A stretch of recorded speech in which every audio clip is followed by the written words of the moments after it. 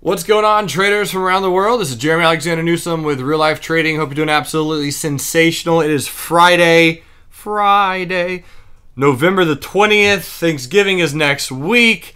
Hope you're all excited about the holidays. The weather here is beautiful in Nashville. The trees are pretty. Don't really know what I'm doing this weekend. Don't really have any big plans to speak of, but uh, we'll be keeping an eye on the markets. Let's hop over here. Uh, right now we're at Walmart. Might as well talk about Walmart. Just kind of wrote uh, was talking about this to Ken Freeman here in the uh, day trading room, which we have Monday through Friday from 9 a.m. to 2 p.m. Eastern.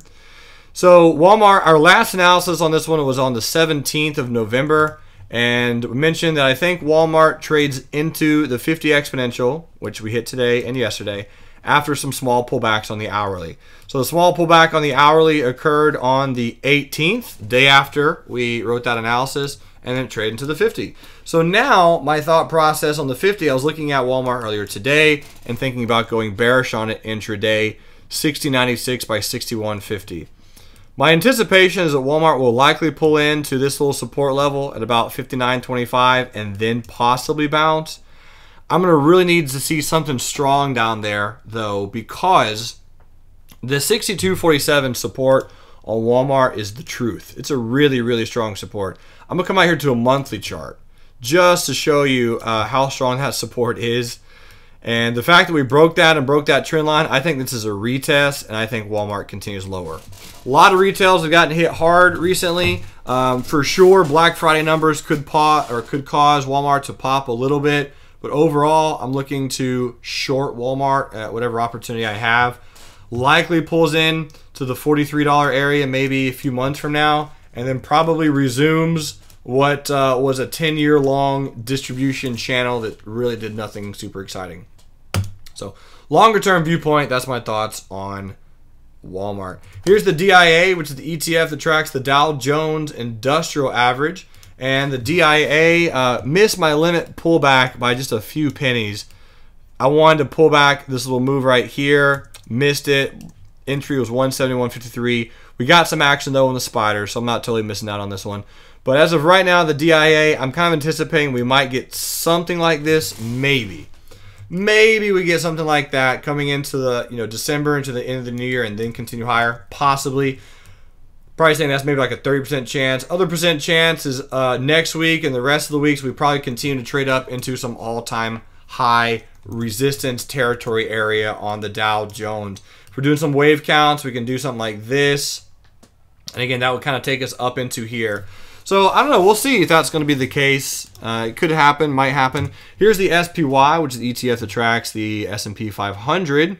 And the S&P 500, I'm actually looking at this particular swing trade setup right here. Brian Shepard and a few others got some put sales. As you guys are aware, we were buying the bounce back down here on the SPY. That happened. It worked out great. So if I come in here to the hourly chart on the spiders, we have ourselves a really nice pennant pattern we got a black candle on the hourly. Stock gapped up today. I was looking for a bullish move. Um, Steven Steckler and Patricia did a really good option trade this morning to lock in a little bit of profit on the SPY. Justin Linderman missed it because he was at work. Work always getting in the way. So at this point, my thought is if the pennant pattern is going to work, we'll probably pull in a little bit. And then my plan is to do a limit buy at 208.83, stop at 208.06, and then looking for some hopeful bullish continuation throughout the holiday action, potentially on ticker symbol SPY. Let's look at a few other stocks. Here's Caterpillar. Caterpillar up 1.23% today. I am slightly bullish on Caterpillar longer term. I think this is an island reversal down here, which is a pretty strong bullish reversal chart pattern, in my opinion. Brian Shepard's got a $67 put sale, which is going to go to options heaven today, along with a covered call at 76. Uh, really, at this particular point in time, we got a weird looking pennant pattern type of thing right there. If Caterpillar closes above the high of this candle, which was 70.99, so if we close at 71 today on Caterpillar, I think uh, I think it'll be a little bit more bullish, right? Bullish to non-directional on Cat. Ticker symbol CHK did some analysis a while ago for a $5 put sale. Right now, CHK is at $5.12. We have um, about two hours left for the market, so anything is possible on CHK. So this $5 put sale is expiring today on CHK. Got six cents for that particular put sale. That's going to get really, really close. So we'll see exactly um, how that plays out. Netflix, a really good move today at 123.71. Um, with real life trading, Trading View, we did post. Uh, we want to buy on a pullback on Netflix is about 115. Didn't quite get it on November 18th, so just missed that by about a dollar or so. But I do have a few good friends and some other traders in Netflix. My target on Netflix is 126.17. If Netflix gets to this area, I think it'd be a great place to sell some covered calls. Uh, or you could just sell if you are in uh, position on Netflix. Apple, not doing much today, up barely from the close of yesterday. Really, what it's doing, in my opinion, is just kind of filling this gap, hanging out at this resistance, and likely, I'm assuming, goes higher.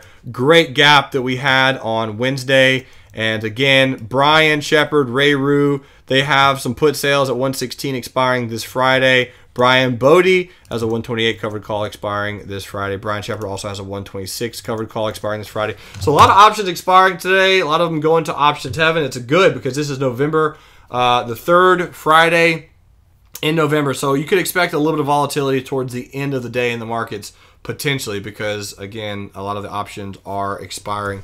Google had some good uh, news come out today and on Google didn't pull back quite as far as I thought it would back in here.